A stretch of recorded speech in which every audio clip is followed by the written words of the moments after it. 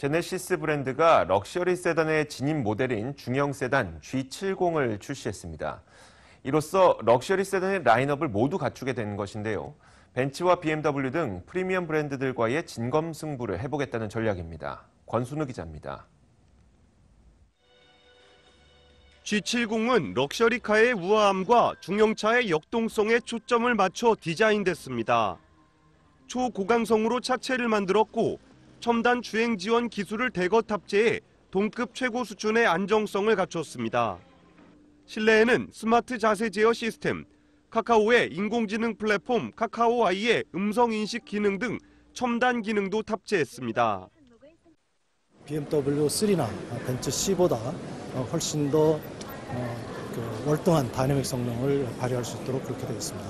그리고 고속도로 지원 시스템이라든지 운전자 경보 시스템 그리고 제네시스 Active Safety Control 등이 작동을 해서 운전자를 최대한 보호할 수 있도록 배려하였습니다. 제네시스 G70은 C 세그먼트의 세단으로 벤츠 C 클래스, BMW 3 시리즈와 경쟁 차종입니다. 성능 면에서는 뒤지지 않지만 브랜드 프리미엄을 감안해 가격은 80% 수준으로 책정했습니다. 2.0 터보는 3,750만 원부터 3.3 터보 모델은 4,490만 원부터 시작합니다. 우아하고 역동적인 디자인, 그리고 탁월한 고급감, 그리고 3.3 터보의 강력한 주행성을 내세워서 이 시장에 연간 15,000대 이상을 판매해서 중형 럭셔리 세단 시장을 리드해 나갈 계획입니다. 현대차의 프리미엄 브랜드 제네시스는 플래그십 세단 EQ900, 대형 G80에 이어 중형 G70을 출시함으로써 세단 라인업을 구축했습니다. 앞으로 SUV, 쿠페 등을 추가로 출시해 2021년까지 6종의 full 라인업을 구축할 계획입니다.